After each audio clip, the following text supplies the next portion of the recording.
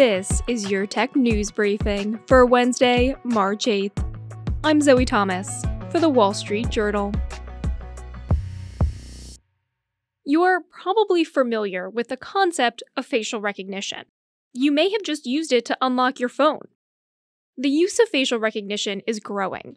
Concert venues, sports arenas, even airlines are beginning to let people use their faces as their tickets. And while that may seem convenient, some lawmakers are looking to tighten regulations around this kind of tech, citing privacy concerns and allegations of bias. With me to discuss the increasing use of facial recognition tech and how to keep your data safe is our personal tech columnist, Nicole Nguyen. Hey, Nicole, thanks for joining us. Hi, Zoe. Nicole, I'm sure a lot of listeners have a general idea of what facial recognition tech is, but can you give us a brief overview of how it works?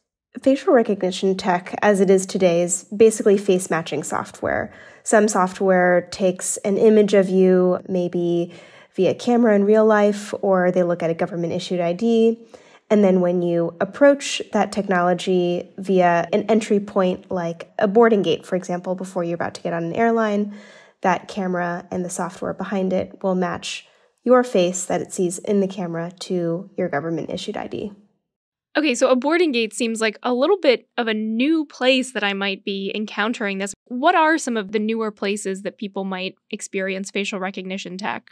The US government has been using facial recognition technology for a long time in places like airports and at border crossings, but increasingly you'll see facial recognition tech in places like concert venues, stadiums, and in airports especially. I recently encountered the tech at a trade show conference in Barcelona where there were tens of thousands of attendees, and the technology was sort of used as an express lane to get people really quickly through the venue to the trade show floor. Okay, so you can just use your face as your ticket. That seems a little bit handier. It's certainly difficult to lose that. But how safe is this data? I mean, with anything, I think we worry about what happens to this information.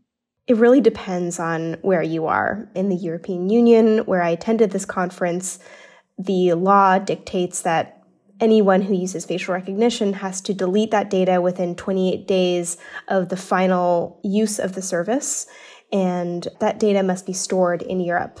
In the US, the laws are a little bit different. There are a smattering of state based laws in places like California and Illinois, but there is no federal law governing facial recognition. And so consumers really have to look into the privacy policies of these companies if they're concerned with their biometric data being shared elsewhere. Okay, so what can people do to protect their biometric data? Well, you can certainly look at that company's privacy policy to see how long they're retaining the data, where they're storing it, but ultimately, you cannot predict whether or not that company, if they do choose to keep your biometric data, chooses to pivot in the future. You know, maybe today they're an access point entry company that's trying to process people who are going through a stadium. Maybe tomorrow they're signing up with law enforcement to provide a facial recognition product to police or other agencies.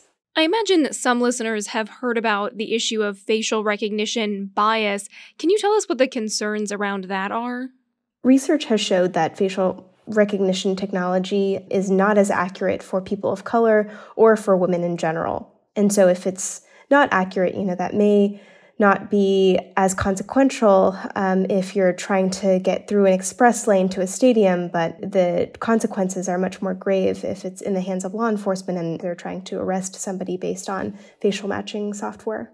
You mentioned some of the differences between the US and Europe in terms of where data can be stored by these facial recognition companies. I mean, is there a, a big difference overall in how lawmakers are approaching this kind of technology? In the US, it's very state based. States like California and Illinois have biometric data privacy laws, but outside of those states, you're not protected by those laws because there is no federal law governing how biometric data needs to be deleted, stored, shared at the US level. Several lawmakers have tried, but those laws have not made it through Congress in any significant way. But I think that we may see more interest in the future as more of these facial recognition access points pop up in public places, like I said, concert venues and stadiums and places like that. And what about in Europe? Are they being more active there in terms of initiating laws for facial recognition? Well, now that data privacy laws in Europe dictate when companies need to delete this data and where they can store it and what they can do with it, and beyond that, there are proposals for banning facial recognition for uses like for identifying people in protests, for example. In private spaces, I think it's generally acknowledged that if you consent to facial recognition being used on you, then that's sort of an appropriate use of it. But a non appropriate use is the government knowing your identity when you're in a public square or at a protest. It seems like there is going to be more and more use of facial recognition. If you want to opt out of, say, all of it, is there a way to do that? Most of the companies today allow you to opt out of facial recognition unless you're at a place like an airport where it's hard to evade if you're going through an international border. But if it's a private company, like for example at Citi Field, where if you're attending a Mets game, most of the entry points have a facial recognition lane and a regular schmegular ticket lane, I think that over time, the non facial recognition option could become very cumbersome. Like, for example, you know, paying a cash at a toll booth rather than using E-ZPass for those who travel interstate on the East Coast. And so, if non facial recognition options become cumbersome, then to opt out may be a huge pain in the future. Got it. So our, our faces are now our tickets to everything, or maybe our faces will be our tickets to everything in the future. Yep, that's right. All right, that's our personal tech columnist, Nicole Nguyen. Thanks for joining us, Nicole. Thanks for having me. All right, that's it for today's Tech News Briefing. For more tech stories, head over to our website, WSJ.com. I'm Zoe Thomas for the Wall Street Journal. Thanks for listening.